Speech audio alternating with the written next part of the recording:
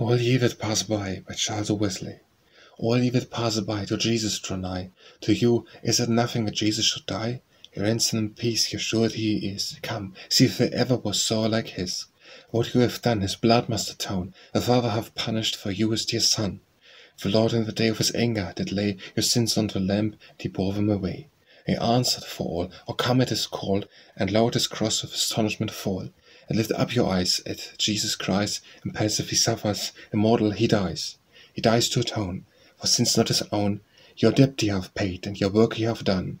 All may receive the peace he did leave, or made intercession, Father, forgive.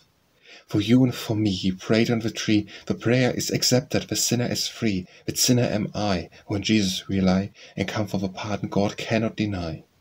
A pardon I claim, for a sinner I am, a sinner believing in Jesus' name. He purchased the grace which now I embrace, O Father, for now thee have died in my place. His death is my plea, my advocate he, and hear the blood we could have answered for me. A ransom he was, when he bled on the cross, and losing his life, he have carried my cause.